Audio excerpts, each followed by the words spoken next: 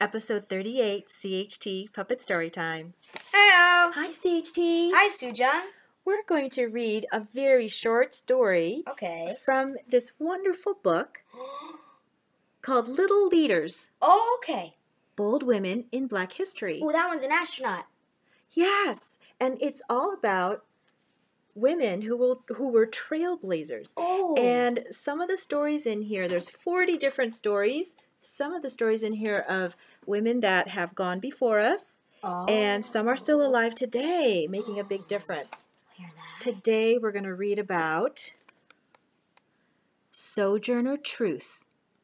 And she lived well into her 80s.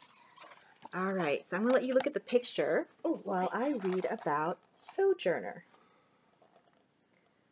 Abolitionist, women's rights advocate. Sojourner was born a slave in upstate New York under the name Isabella Baumfree. Under the state's Gradual Emancipation Act, she was due her freedom in 1827. When she realized her slave owner was planning to keep her enslaved, Sojourner ran away with her infant daughter in tow. But this came at a huge cost. She had to leave behind her five year old son. The slave owner sold Sojourner's son to a plantation a thousand miles away in Alabama. Meanwhile, Sojourner remained in hiding in New York until her freedom was official.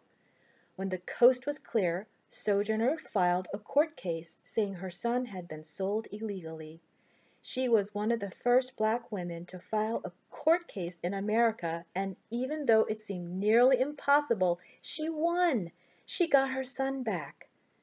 In 1843, she changed her name to Sojourner, which means traveler, and became a preacher.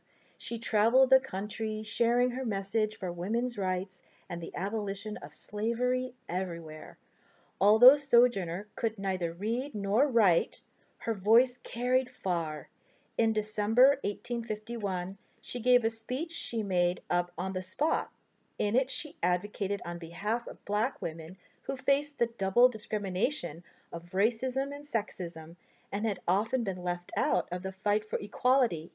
The speech is known by its most famous refrain, Ain't I a Woman? She went on to encourage African Americans to fight on behalf of the Union in the Civil War, for former slaves to be given places, places to live, and for desegregation of streetcars. She was an agitator and a fierce activist for equality. Clap, clap, clap, clap, clap. I love that. She was an agitator, Mhm. kind of like John Lewis, who Mm. told us to get into good trouble, Yeah. right? So I want you to remember it doesn't matter how old you are, you can be very young and you can make a big difference. All right, have a good week making a big difference. Bye. Bye. Wait.